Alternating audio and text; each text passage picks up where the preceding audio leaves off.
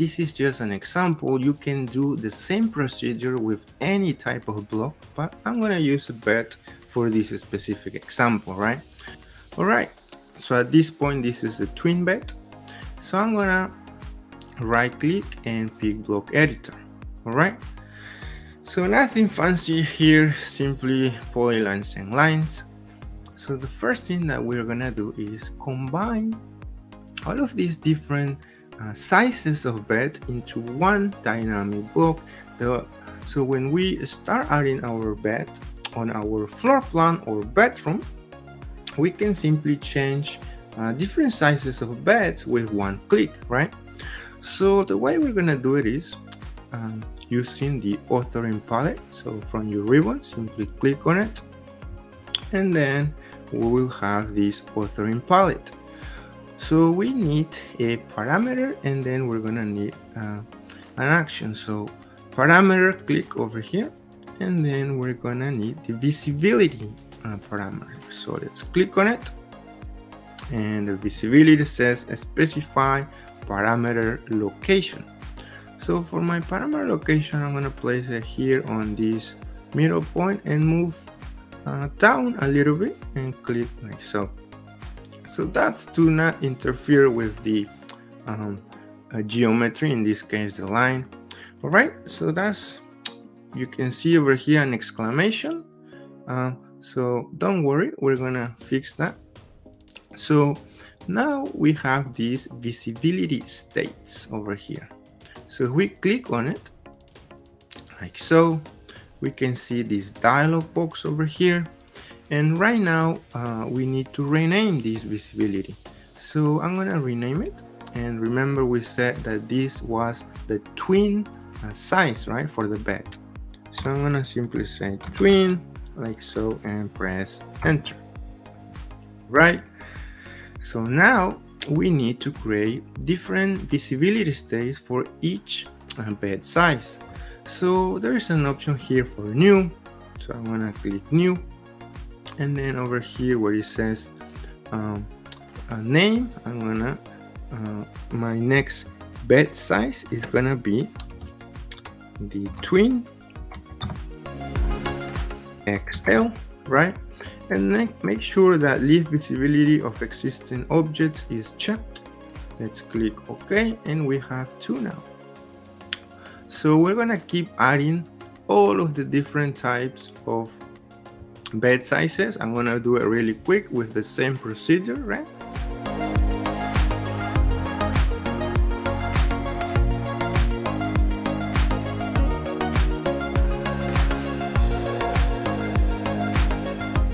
So now that we are ready, we're gonna select the first one and make sure we set current with this option over here. So it's the check.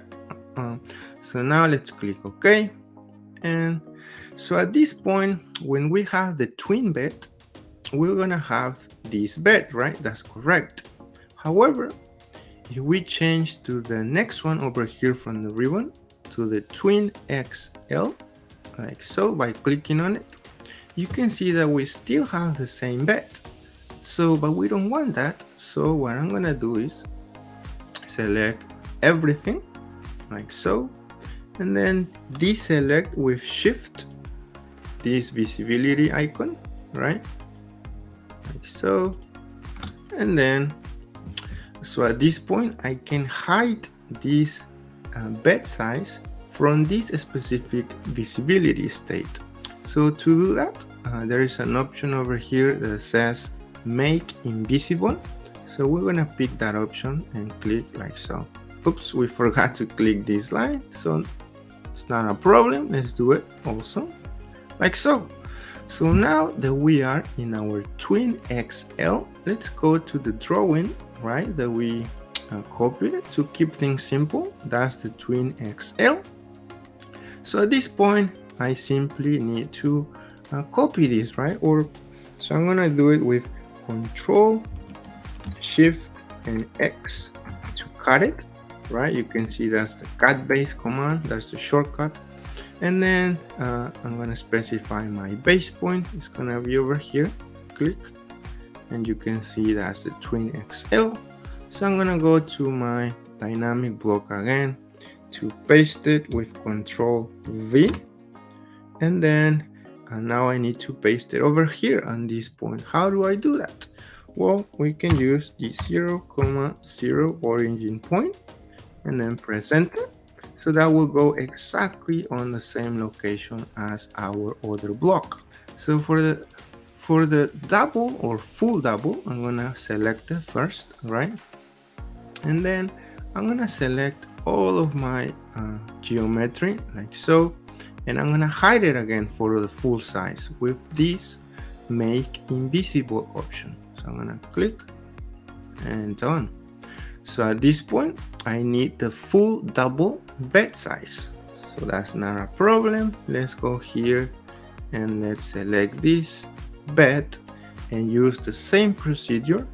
Control shift X to cut or cut base on this bed from this point and then go back to your block paste it with control V at 0 comma 0 and then press enter like so. So now that you know this process I'm gonna try to speed up things. I'm gonna do it faster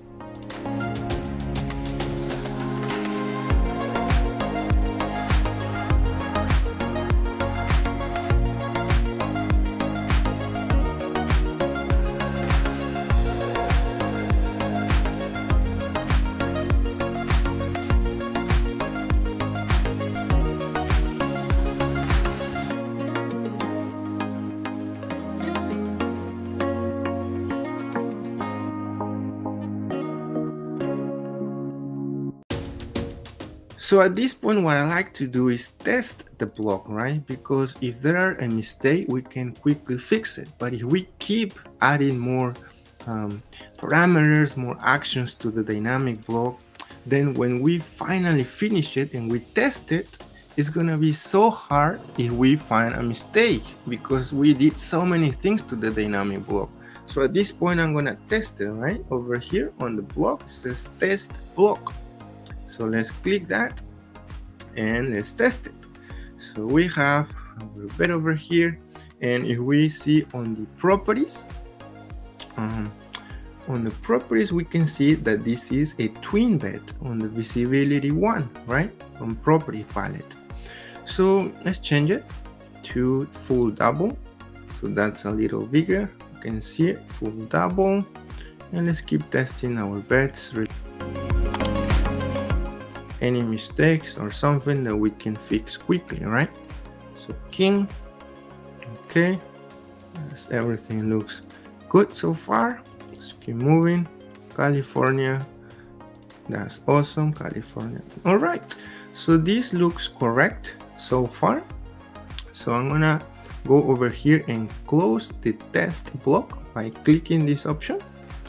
And then let's go back. All we need to do is make it more um, efficient to insert, right? In order to do that, I'm gonna add another um, parameter over here and it's called the alignment parameter. So I'm gonna click this alignment over here like so. And following my command line instruction, it says specify base point. So I'm gonna click over here. So click and then I'm gonna move it to the right and click again like so. So uh, I added this to the California King right? But what about if I change to twin? You can see that the parameter disappears. So we don't want that. We want this parameter to stay with all of the different type of beds. So how do we do that? Well let's go back to the California where the um, this parameter exists and let's select it and right clicking on it there is an option that says object visibility. So here what we need to do is click the option that says show for all states. So I'm gonna click it and now look what happened when I change to a different bed in this case twin. See the parameter still exists for all of the beds. So that's awesome. And again, at this point, let's test it, right? so go test over here and for testing it I'm gonna draw a big rectangle over here that represents a bedroom right so let's go over here and let's select our bed and let's say if I wanted to put it over here or I can put it over here will align automatically with our bedroom right? So I can place it here like so or I can go and insert it maybe over here right? And it will align automatically. So far that's good. Uh, let's see if we change the bed let's say to queen and then we still have that alignment parameter that is kicking for us like so. But we still have um, a problem here because what if I want to place this bed on this corner over here exactly on this corner right? I can't because look I will have to guess. I will have to guess and then still use the move command to move it over here on this corner like so and we don't want that. We want to avoid that because this video is about inserting your blocks uh, with the simplest way possible right? So how do we do that? Let's do that right now. So let's close our test block like so and let's go back to our block. So what we can do is add another um, alignment parameter. So the way we're gonna do it is from our uh, block authoring palette again, which is this one. So let's go under parameters and let's go to alignment again. So let's click on it and specify base points. So let's click over here in this other corner, click, and then move to the right, click like so. All right. So now that we have this, uh, remember to make sure uh, to locate yourself, right? Right now we are on the Twin XL, but if we change to Twin, you see that there is no uh, alignment parameter.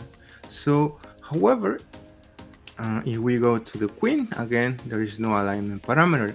But in this specific example, we don't want the same alignment parameter to show up for all of our beds. Why? Because if we do so, our alignment parameter will show up over here, not exactly on this other corner because the beds have different sizes. So then we need to individually add them to each bed size, right?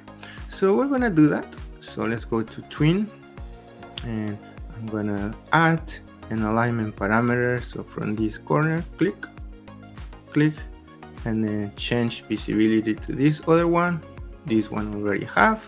So let's go to full bed and I'm gonna keep adding the parameter. I'm gonna do it really quick because you already know the procedure.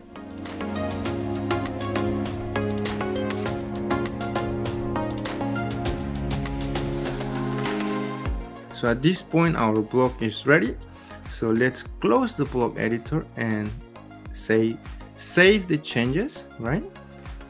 So at this point, we have our block over here, but now we can still make the insertion of our block more efficient. How?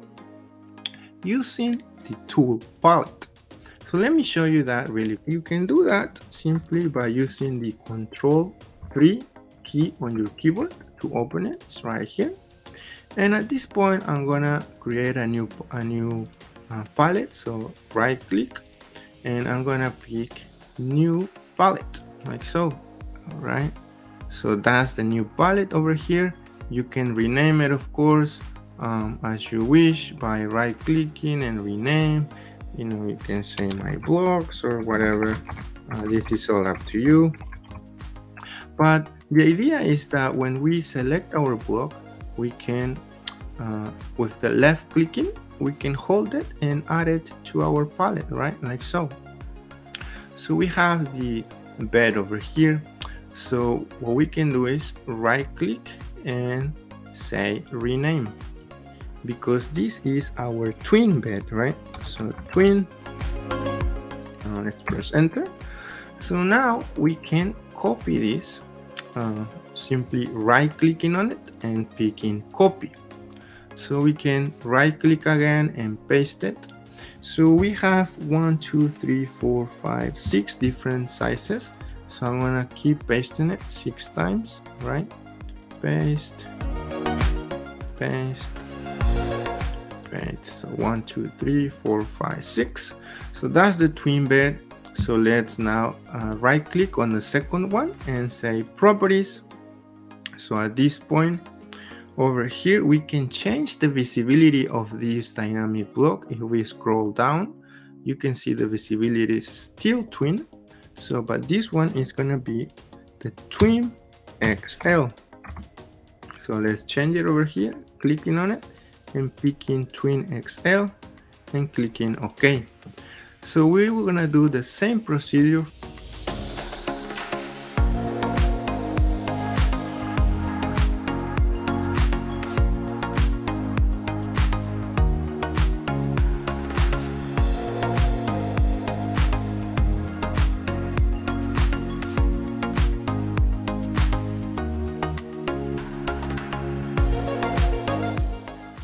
so we have all of our different beds over there. So let's do a final test. Let's say i need to insert my bed right? So i can pick whatever size i need. So at this point i can click the twin bed and of course i can i i wanted to snap it over here in this corner. So i can simply click the or, or sorry use the control key to change to my second alignment and then I can go here and place it exactly on that corner.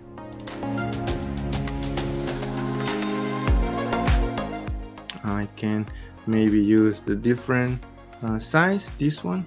So I'm gonna click this bed. So let's say I want it um, maybe over here on the bed, right? So I can simply hold it and click it like so. And of course, at this point, let's say this bed is too big on my bedroom my bedroom is too small or whatever i can simply uh, change with one click maybe to a smaller bed. Like so i'm irvin and if you are new to the channel uh, we are all about saving time in AutoCAD